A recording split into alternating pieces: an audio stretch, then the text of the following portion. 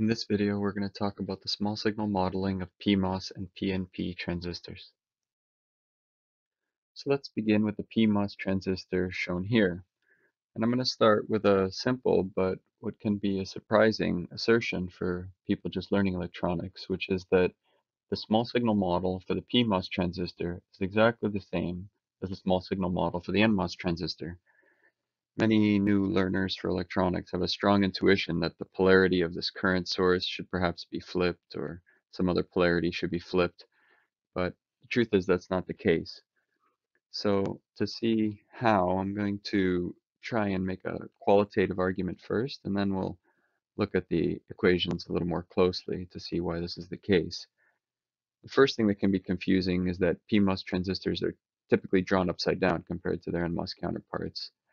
The source of the PMOS transistor is usually drawn at the top of the schematic, and this is done for a good reason, and that's because in normal operation the source is at a higher voltage, and we tend to put higher voltages towards the top of the page in schematics.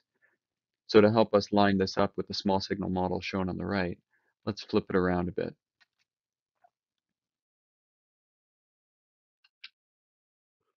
So now that we've reoriented the small signal model to better align with the schematic on the left, let's just relabel things so that uh, they're legible.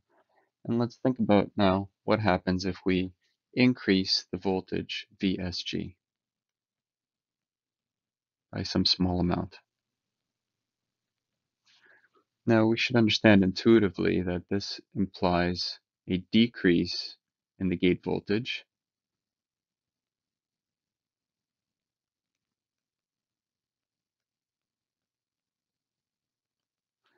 which we should understand to increase the inversion level of the PMOS transistor. That is, the channel is going to become more inverted or stronger.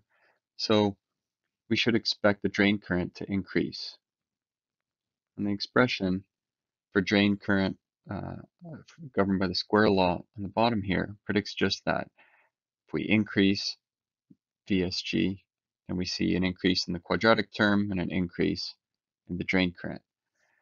Now, if we think about that in terms of the small signal model on the right, these changes in voltage are indeed the small signals that we're trying to model. So VGS in the model on the right is really equal to negative delta VSG. And the small signal drain current flowing in here in the direction indicated by the dependent current source is flowing in the opposite direction from drain to source as delta ID. So this is then equal to negative delta ID. So because of the double negative here, everything works out nicely. On the left, VSG increases and the current flowing out of the drain increases. On the right, VGS decreases, and so we've got small signal current flowing into the drain, which really represents an increase in the current flowing out of the drain. Now, if that's still confusing for you, there's another way we can look at it. Here again is the square law equation governing the drain current of the PMOS transistor. But now let's rewrite it. Instead of in terms of the current flowing out of the drain, let's define IDN, the negative of the drain current, which simply has the opposite polarity. It's the current flowing into the drain and out the source of the PMOS transistor. Now in normal operation we expect the value of this current to be negative, but that shouldn't present much of a problem mathematically. All that happens is we can repeat the square law here, but we simply put a negative sign out front because we've defined IDN to have the opposite polarity as ID. Now we can make a further manipulation here. If we negate everything in the quadratic term here, that should have no effect because taking the square simply, um, you know, makes that negation irrelevant. And one final change here is that instead of writing this expression in terms of VSG, we can write it in terms of VGS. And clearly, VSG equals negative VGS. So we make that substitution in here. and we're left with the final expression at the bottom. Now a key point is that this square law is valid only when VSG exceeds the absolute value of the threshold voltage of the PMOS transistor. So since we've rewritten this bottom expression in terms of VGS, the condition is flipped around. So VGS has to be less than negative that threshold voltage. And the nice thing about this expression here is that we're defining everything in terms of variables IDN and VGS that have the same polarity as the small signal model on the right. So the gate source voltage is VGS, and the drain current in the small signal model is defined as current flowing into the drain and out the source. So that's the same polarities that are used in this bottom expression here. If we sketch a plot of that bottom expression, then end up with something like this. Now remember that you only enter square law in this case when VGS is less than negative VTP and that beyond there you have this square law quadratic relationship here. So that's essentially a plot of this bottom expression here.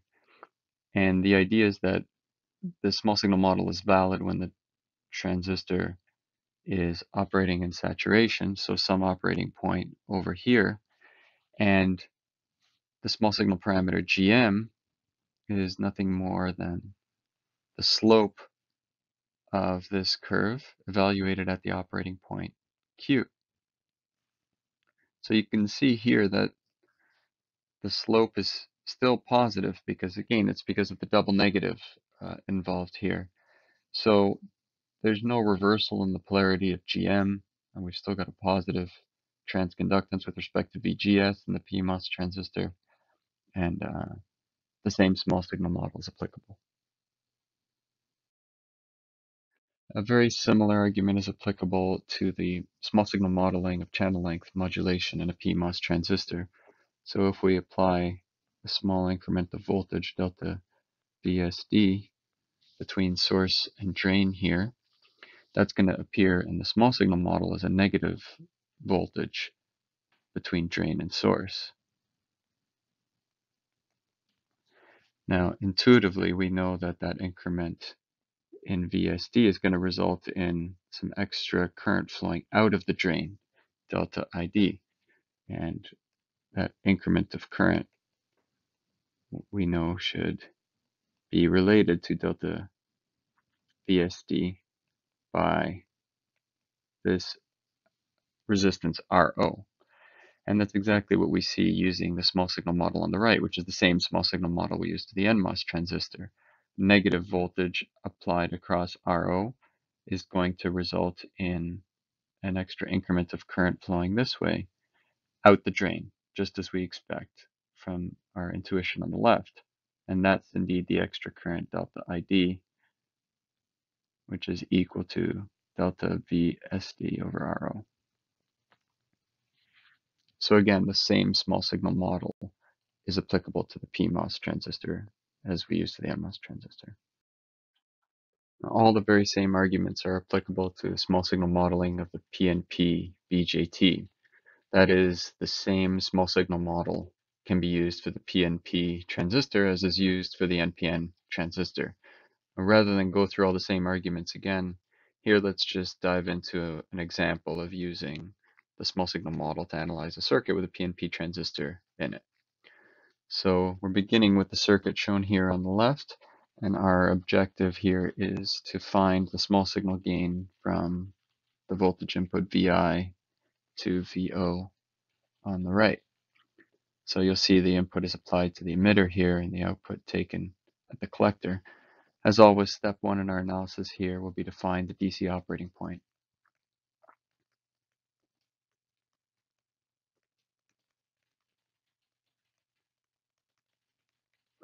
Now in order to do so, we can simplify the schematic recognizing that the capacitors will be open circuit at DC.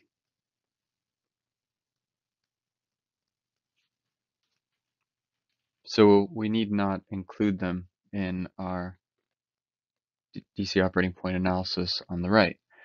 We're also going to use a simple constant voltage drop model for the BJT. So in this case, we've got 0.7 volt drop here, establishing an emitter voltage of 0.7 volts. From there, we can find that the voltage drop across this 10K resistor is 9.3 volts. So that gives rise to a emitter current of 0.93 milliamps. Uh, we're told that beta is 100 in this example, so alpha is about 0.99, hence the collector current is 0.92. And then finally, we can find the DC voltage at the collector uh, by just finding the voltage drop on this 5K resistor, 0.92 milliamps times 5 kilo ohms. That's 4.6 volts. So we know the collector voltage is negative 5.4 volts. And that's important because we do a final check and confirm that the voltage at the collector is uh, sufficient, provides sufficient voltage drop here to keep the transistor in active mode.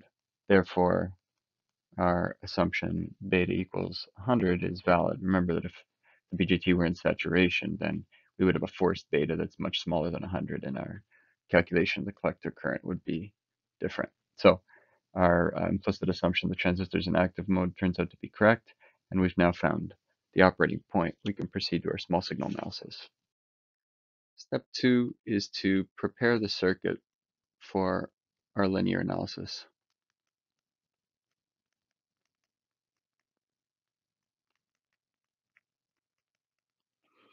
Now, we're interested in small signals applied at the input and appearing at the output. Now, the way this circuit is designed, large coupling capacitors, CC1 and CC2, are being used to connect the small signal voltage input VI to the amplifier and to take the small signal voltage output VO from the amplifier. The assumption here is that the signals of interest are time varying and that the capacitors are large enough so that at all frequencies of interest to us, that is, all frequency content in the input and output of this amplifier, are at a high enough frequency that we can consider those capacitors to be short circuits when we're analyzing the circuit with respect to the small signals VI and VO. So um, we sometimes we'll just write a shorthand notation where we say that these capacitors have infinite value. That is, we're just assuming that we're going to have to choose them large enough so that this assumption is valid. So in our small signal analysis, we replace CC1 and CC2 with short circuits. So that's the implicit assumption there. We also have set the supply voltages to zero volts. Again, in the AC analysis, we um, set all other independent voltage sources to zero that have already been considered in the DC analysis. And uh, we're left with the simplified schematic here on the right. Then final step in order to prepare the circuit for small signal analysis is to replace this with its small signal model. In this example, we're going to use a T model. And remember that we can use the same small signal model for this PNP transistor that we use for NPN transistors. So here's what we end up with when we place the transistor with its small signal equivalent. This type of amplifier is referred to as a common base stage because the base terminal of the transistor is connected to ground or a small signal ground at least. the input, as I said, is applied to the emitter, the output taken at the collector. That's always the case with common base amplifiers, whether they're NPN or PNP transistors.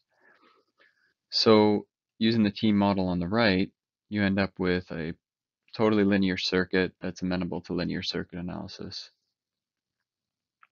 So now we're ready for the final step, which is to perform the small signal linear analysis.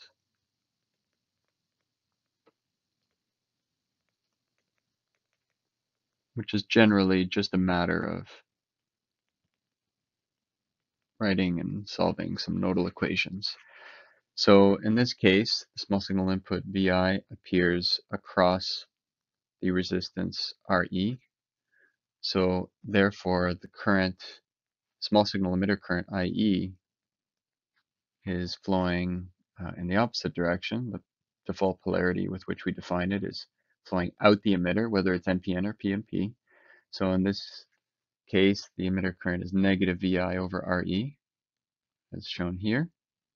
Um, the collector current is almost equal to the emitter current. It's just multiplied by factor of alpha, which is about 0.99 in this case.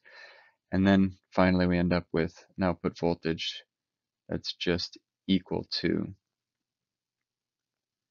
negative the collector current times RC. If we substitute in alpha IE for RC, we get a double negative and we get the final expression alpha RC over RE VI. Now, um, we've got to substitute in the value for RE. Recall that RE is VT over the DC operating point emitter current, which we calculated in step one. So if we plug in the value of 0.93 milliamps from there, we end up with about 27 ohms. And RC, you may recall, is 5 kilo ohms. So plugging those two values in along with alpha of 0.99 gives us a voltage gain from VI to VO of about 182 volts per volt. So that's our voltage gain, AV.